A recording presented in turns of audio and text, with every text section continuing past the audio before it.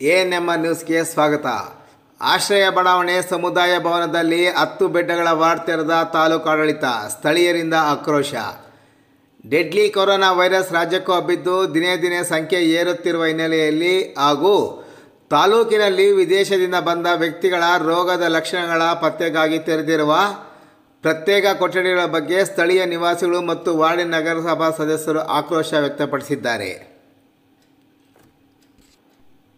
Corona virus ತಡೆಗಟ್ಟಲು ತಾಲೂಕಿನಲ್ಲಿ I alert ಜೊತೆಗೆ ಸಾರ್ವಜನಿಕ ಆಸ್ಪತ್ರೆಯಲ್ಲಿ ಪ್ರತ್ಯೇಕ ವಾರ್ಡ್ ತೆಗೆಯಲಾಗಿದ್ದು, ಅದಕ್ಕೆ ಅದಕ್ಕೆ ಪ್ರತ್ಯೇಕ ಸಿಬ್ಬಂದಿ ಹಾಗೂ ಪ್ರತ್ಯೇಕ ಔಷಧಿ ಸೇರಿದಂತೆ ಪ್ರತ್ಯೇಕ ಪ್ರಯೋಗಾಲಯವನ್ನು ಸಹ ತೆರೆಯಲಾಗಿದೆ.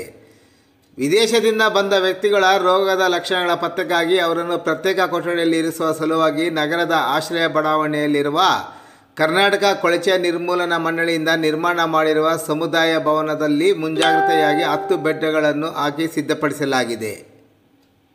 ಇದನ್ನು ಕಂಡ ಅಲ್ಲಿನ ನಿವಾಸಿಗಳು ಕೊರೋನಾ ರೋಗಿಗಳನ್ನು ಇಲ್ಲಿಗೆ ತಂದು ಬಡ, ತಂದು ಬಡವರು ಆರೋಗ್ಯಕ್ಕೆ ತುತ್ತಾಗುವಂತೆ ಮಾಡುತ್ತಿದ್ದಾರೆಂದು ಆಕ್ರೋಶ ವ್ಯಕ್ತಪಡಿಸಿದರು. ಈ ಸ್ಥಳವನ್ನು ಇಲ್ಲಿಂದ ತೆರವು ಮಾಡುವಂತೆ ಸ್ಥಳೀಯರು ಅನೇಕ ಅಧಿಕಾರಿಗಳನ್ನು ಮತ್ತು ಪೊಲೀಸ್ ಅಧಿಕಾರಿಗಳಿಗೆ ಮೊರೆ ಸಹ ಹೋಗಿದ್ದಾರೆ. ಈ ಬಗ್ಗೆ ನಗರಸಭಾ ಸದಸ್ಯ ಎರಡನೇ ವಾರ್ಡಿನ ಮುರಳಿ ಪ್ರತಿಕ್ರಿಯಿಸಿ ಮಾತನಾಡಿ, ಈಗಾಗಲೇ ಕೊರೋನಾ ವೈರಸ್ ಬಗ್ಗೆ ಜನ ಭಯಭೀತರಾಗಿದ್ದಾರೆ. ಇಂತಹ ಸಂದರ್ಭದಲ್ಲಿ ಬಡವರು ವಾಸಿಸುವ ಬಡಾವಣೆಗಳಲ್ಲಿ ಪ್ರತ್ಯೇಕ ಕೊಠಡಿಗಳ ವಾರ್ಡ್ ತೆಗೆದಿರುವುದರಿಂದ ಮತ್ತಷ್ಟು ಆತಂಕಕ್ಕೆ ಈಡಾಗಿದ್ದಾರೆ. ಇಲ್ಲಿ ಕೊಠಡಿಗಳನ್ನು ತೆಗೆಯುವ ಬದಲು ನಗರದಿಂದ ಐದು ಕಿಲೋಮೀಟರ್ ದೂರದಲ್ಲಿ ಇಂತಹ ಪ್ರತ್ಯೇಕ ಕೊಠಡಿಗಳನ್ನು ತೆಗೆಯುವಂತೆ ಅಧಿಕಾರಿಗಳು ಮುಂದಾಗಬೇಕೆಂದು ಅವರು ಕೋರಿದರು. ಹಂಗಾಗಿ ಇದು ಇರೋ ರೂಲ್ಸ್ ಪ್ರಕಾರವಾಗಿ ಜನರಿಗೆ ಗೌರ್ಮೆಂಟ್ ಹಾಸ್ಪಿಟ್ಲು ಮತ್ತು ನಗರದಿಂದ ಐದು ಕಿಲೋಮೀಟ್ರ್ ಆಚೆ ಇರಬೇಕು ಅನ್ನೋ ಒಂದು ಇದಿದೆ.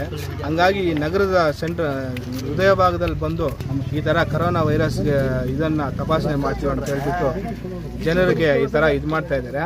ಇದು ವಿಚಾರ ನಾವು ನಗರಸಭೆ ಸದಸ್ಯರಾದ್ರೂ ನಮ್ಮ ಗಮನಕ್ಕೆ ಬರ್ದಿರೋ ಅಂತಹ ಆಡಳಿತ ಇವಾಗ ನಡೆಸ್ತಾ ಇದ್ದಾರೆ. ಇದನ್ನು ಮಾಡ್ತಾರೆ ಅಂತ ಉಮಾಶಂಕರು ಮತ್ತು ಇವರೆಲ್ಲ ಕೆಲವರೆಲ್ಲ ಇಲ್ಲಿ ನಾನು ಫೋನ್ ಮಾಡಿ ಮಾತಾಡಿದೆ.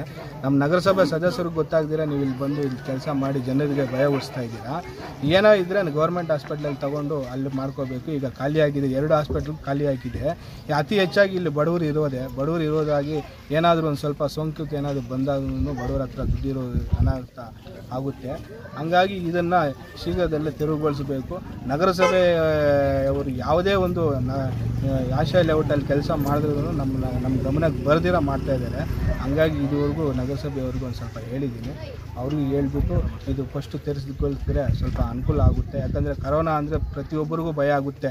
ಅದು ಕರೋನಾ ಬಗ್ಗೆ ಪ್ರತಿ ಈಗ ಪ್ರಪಂಚದಲ್ಲೇ ಅಟ್ಟಹಾಸ ಆಡ್ತಾ ಇದೆ ಕರೋನಾ ವೈರಸ್ ಹಂಗಾಗಿ ಆ ಕರೋನಾ ವೈರಸ್ಸನ್ನು ನಾವು ತಡೆಗಟ್ಟು ಹೋಗಬೇಕಾಗಿ ನಮ್ಮಲ್ಲಿ ಇದು ಮಾಡ್ಕೊಂಡು ಏನೇ ಇದ್ರೂ ಗೌರ್ಮೆಂಟ್ ಹಾಸ್ಪಿಟಲ್ ಹಾಕ್ಕೋಬೇಕು, ಇದು ಮಾಡ್ಕೋಬೇಕು.